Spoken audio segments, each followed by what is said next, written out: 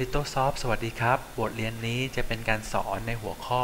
การขอความช่วยเหลือบริษัท กรณีที่โปรแกรม Little Food ติดปัญหาไม่สามารถใช้งานได้ครับ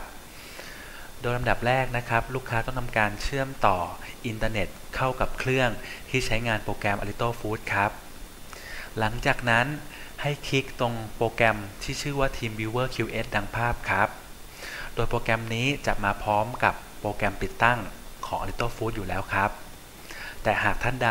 ไม่มีโปรแกรมนี้สามารถเข้าไปดาวน์โหลดได้ที่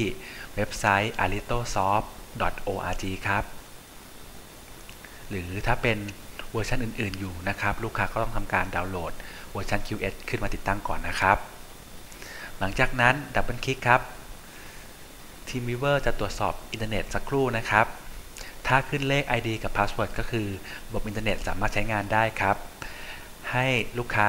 โทรเข้ามาที่ Call Support ของ Alitosoft ครับ และแจ้ง ID กับ Password ให้กับเจ้าหน้าที่ทราบ หลังจากนั้นเจ้าหน้าที่จะทำการรีโบทมาตรวจสอบปัญหาที่ลูกค้าเจอครับ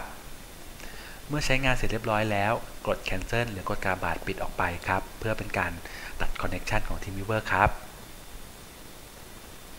สิ้นสุดการนำเสนอเพียงเท่านี้ครับ ขอบคุณครับ สวัสดีครับ